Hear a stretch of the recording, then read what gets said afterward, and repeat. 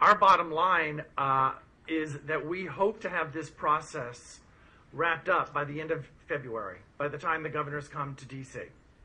So that the question in February to the governors and ultimately to the chiefs across the country is whether or not they're up for adoption. Who's going to adopt these standards in their respective states? We have taken a very hard look, both NGA and the Council of Chief State School Officers, at the processes states have in place for considering adoption. And so, looking at the data we have from 41 states, we know that there are 16 states that are going to take that would take one to six months to adopt these standards.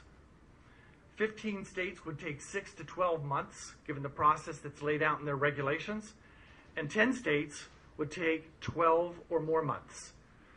We have some states like Illinois and Michigan that have already begun conversations with their state boards, with their legislatures, to set the stage to expedite the adoption process, assuming they like the final version of the standards that they see.